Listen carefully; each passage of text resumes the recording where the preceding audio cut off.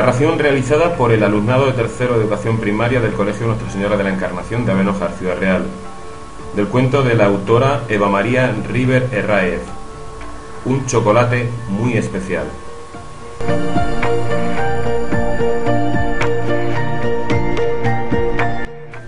Mami, mami, hoy llega una niña nueva a la escuela. ¡Qué bien, cariño! ¿Jugaste con ella? No, mami, la mordí. ¿La mordiste? Pero, ¿por qué lo hiciste? La niña nueva estará muy triste. Mami, yo quería probarla. ¿Probarla? Sí, mami, la niña nueva es de chocolate y otros niños la llamaron negra. ¿De chocolate? ¿Negra? Oh, cariño, ya entiendo. Ven, acércate, siéntate junto a mí. Quiero contarte una historia.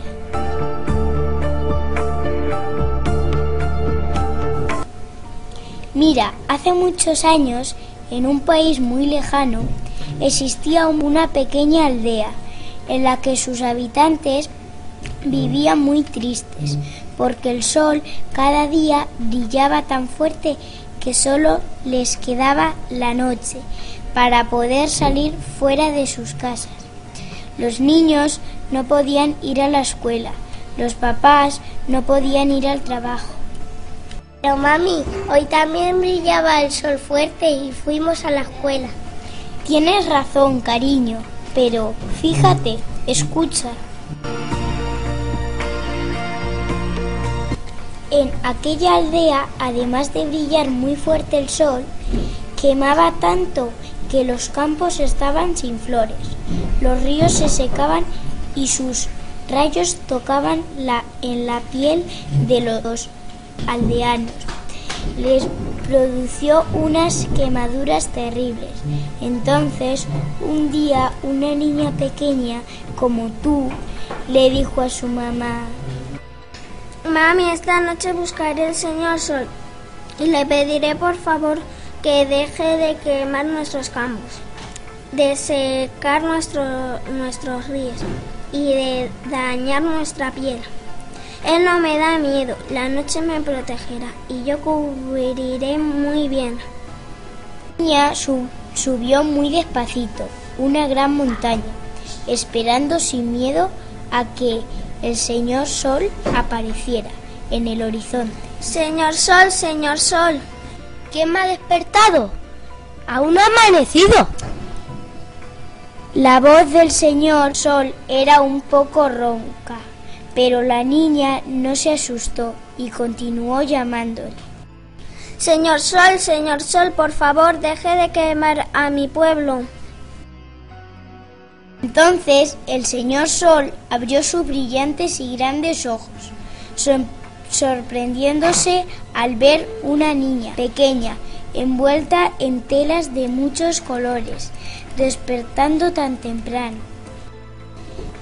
¿Qué haces aquí, pequeña? ¿Por qué llevas esas telas? Apenas puedo verte.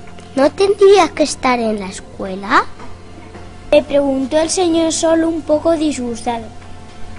Entonces la niña le explicó con todo detalle el motivo de su visita. Si me quito estas telas, quemarás mi piel clara y me dolerá mucho. El señor Sol se quedó muy pensativo y transcurridos unos minutos a los que la niña esperó pacientemente, él dijo, Muy valiente, y tienes un gran corazón, ¿por qué no solo has venido por ti? Así que voy a hacerte un regalo. Buscó en un bolsillo de su gran bola radiante, sacando de él unos saquitos que entregó a la niña, diciéndole, mira dentro, dentro de estos saquitos. Hay unos pequeños escudos mágicos que protegerán tu piel y a todos tus y a todos los habitantes de tu aldea. Tu piel se oscurecerá y estará siempre protegida contra mis fuertes rayos. Para tus campos y tus ríos Mandaré a mis amigas las nubes para que preparen las estaciones de las lluvias y no, olviden de, tu, no se olviden de tu aldea. Pequeña agradeció eh, al señor Sol todos sus regalos y marchó rápido hacia la aldea. Al día siguiente, todos los habitantes de la aldea habían puesto ya en su piel los pequeños escudos mágicos que les protegerían de los fuertes rayos solares.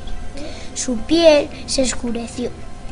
Estaban tan radiantes y la aldea volvió a la normalidad. Entonces, mi amiguita viene de un país lejano. Cariño, sus abuelitos o sus antepasados vinieron de lugares donde el Señor Sol quemaba mucho y una fina capa de su piel se oscurece, se, oscurece para protegerles. Por eso tú pensabas que tu amiguita era de chocolate. Gracias, mami. Mañana le daré muchos besitos a mi nueva amiga. Le pediré perdón y jugaremos juntas. Sabes, mami, su cara está radiante.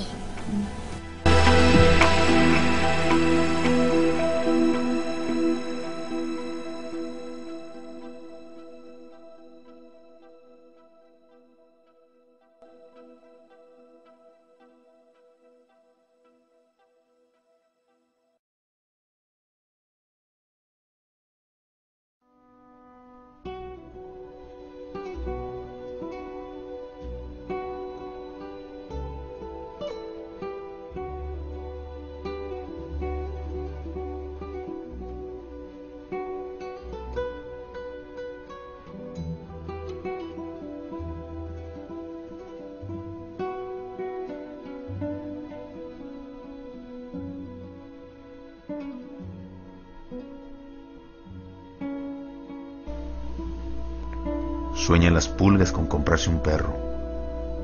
Y sueñan los nadies con salir de pobres. Que algún mágico día llueva de pronto la buena suerte. Que llueva a cántaros la buena suerte. Pero la buena suerte no llueve ayer, ni hoy, ni mañana, ni nunca. Ni en lloviznita cae del cielo la buena suerte. Por mucho que los nadies la llamen, y aunque les pique la mano izquierda o se levanten con el pie derecho, o empiecen el año cambiando de escoba. Los nadies, los hijos de nadie, los dueños de nada.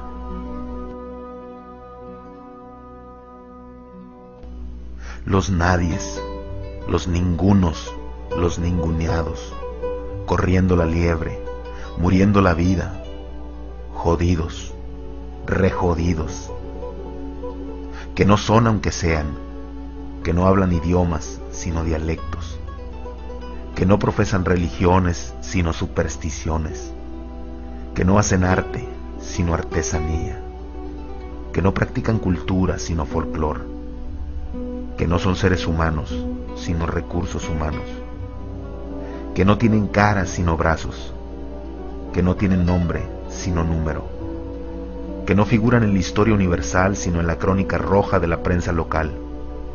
Los nadies, que cuestan menos que la bala que los mata.